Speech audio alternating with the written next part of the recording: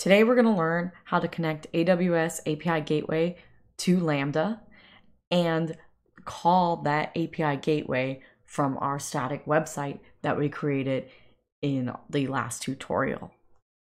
So the first thing we're going to do is create a Lambda function. So if it's not on your recently visited sites, you can go down to compute and choose Lambda and we're going to create a new function. So we are going to create a Lambda function from scratch, and let's call this AWS tutorial API. And it's running under Node.js. That is fine. That's what we're going to use. You can choose other languages if you want to. If you want to make this a Java or a Python or Ruby or anything, you could choose that. For in this case, for this tutorial, we're going to do a Node.js. And let's create our function. So here is a, this is our AWS tutorial API Lambda function that we created. And pre filled out for us is already a Node.js function that responds with a JSON object with the status code 200 and it says hello from Lambda. And that's going to be returned to us. We don't need to touch anything right now with, with this function. So we can leave this as is. So let's connect this Lambda function to AWS API Gateway. So I'm going to click um, this little the shortcut here for the AWS console and open up as a new tab. And I'm going to go to the API gateway. So API gateway. So you may not have an API already created. I have one test here. So we're going to choose to create an API. So create API, and we're going to make a REST API. This is our RESTful services. This is where we have our RESTful verbs like get, put, post, delete, um, and patch. So we're going to choose build, creating a REST, a REST API. We're going to say it's a new API. We're not cloning it from anything. Um, and we're going to just call this AWS tutorial API and we're going to keep the endpoint type as regional. We don't need to change it. So let's choose create API. So now we have an AWS tutorial API. Um, it is empty. We don't have any methods. So we defined earlier our Lambda function that just returns back um, hello from Lambda.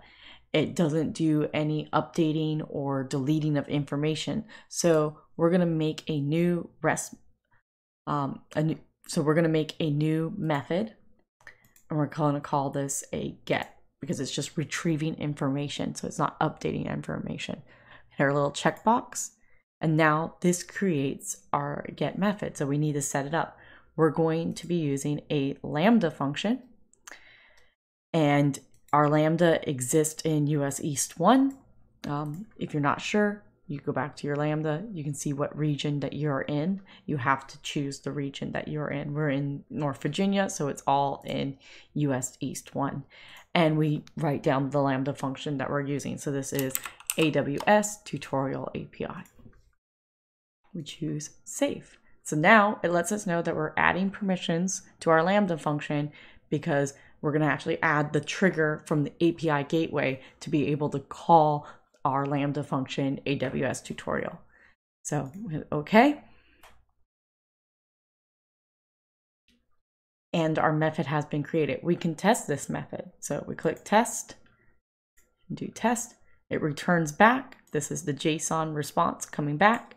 Status 200, and the body says hello from Lambda. If we go back to our Lambda function and re refresh this page,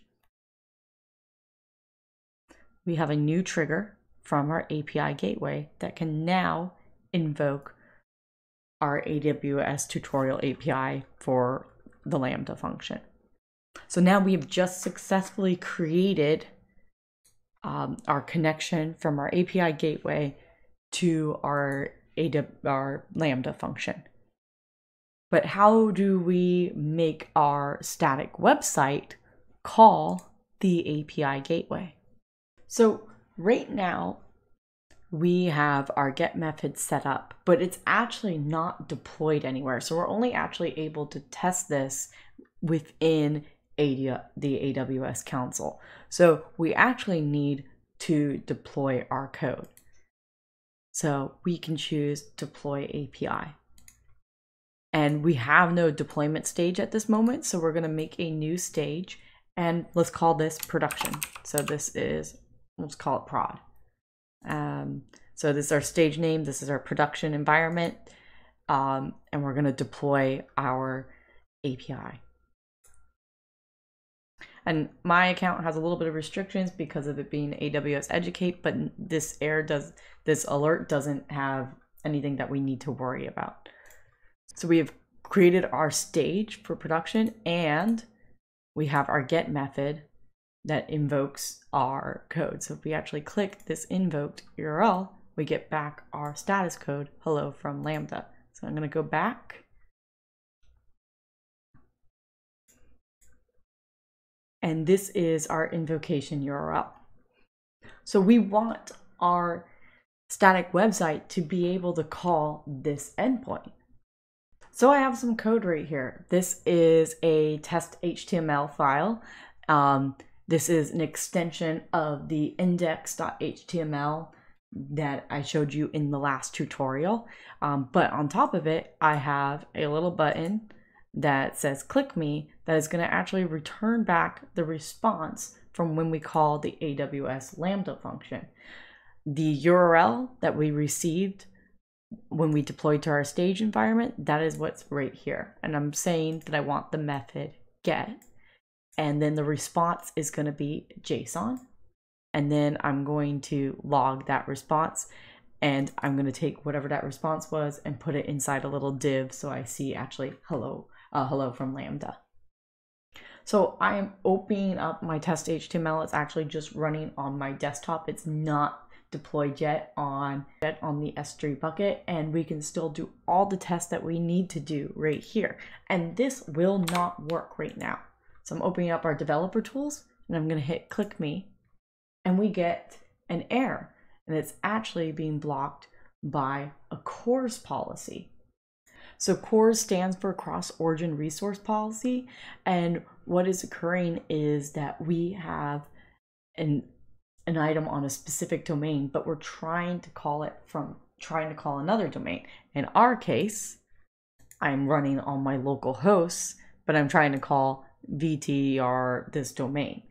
And the reason we're going to do this testing locally and then update this on our S3 bucket is because if you remember, your domain for your S3 bucket is a completely different domain than this. So you're going to get this CORS problem on if you upload this on your S3 bucket.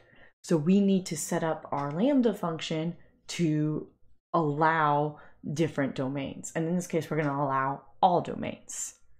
But or you can allow all domains, but you can restrict it to allow specific domains. I'm just showing you the general way of doing this. So let's go back to our Lambda function. And what we need to do is have the response come back allowing um, all headers. So we are going to add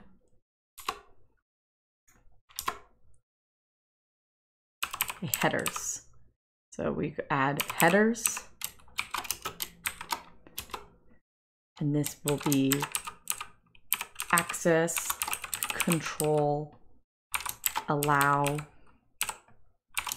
origin.